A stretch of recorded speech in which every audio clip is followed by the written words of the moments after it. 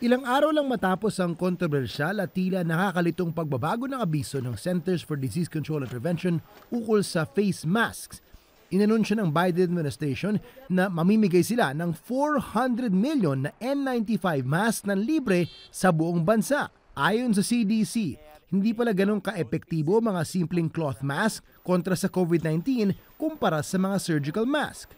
Sa katapusan ng linggo, inaasa magsisimula na ang pag-ship ng mga N95 mask gaya nito sa mga butika at mga healthcare center sa buong bansa. Pero nababahala naman ng mga pribadong healthcare administrator na baka sa sobrang daming supply na ibibigay sa publiko ay makulangan ang mga ospital ng napaka-importanting PPE na ito. Napipilitan ng gobyerno na kumilos ng ganito habang patuloy na kumakalat ang Omicron variant sa bansa.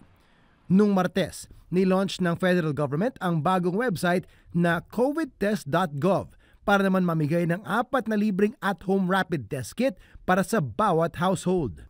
Ito ay sagot naman sa pahirapang pagbili ng mga test kit na mabilis ang nauubos sa mga butika at ng patutsada sa gobyerno na kulang pa ang testing para mapabagal ang pagkalat ng Omicron. Sa bisperas ng kanyang one-year anniversary sa White House, mapilit si US President Joe Biden na nasa mas mabuting kalagayan na ngayon ang Amerika sa gitna ng mga kritisismo na kulang pa ang ginagawa niya para labanan ang pandemya. It's been a year of challenges, but it's also been a year of enormous progress. We went from 2 million people being vaccinated at the moment I was sworn in to 210 million Americans being fully vaccinated today. Pero minado si Biden na marami pa silang kailangan gawin. The COVID 19 is not going to give up and accept things, uh, you know, it's, it's just, it's, it's not going to go away immediately.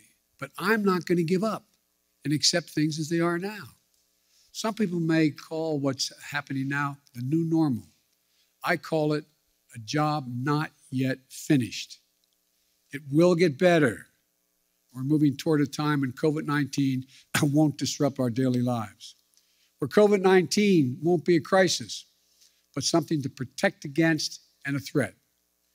Look, we're not there yet, but we will get there.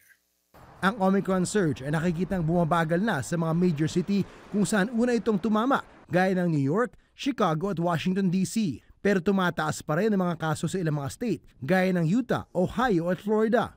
Ang huling 7-day averaging US ay pumapalo pa rin ng mahigit 750,000 daily cases, 38% increase sa huling dalawang linggo. Para sa TFC News, TJ Manotok, ABS-CBN News, Daly City, California.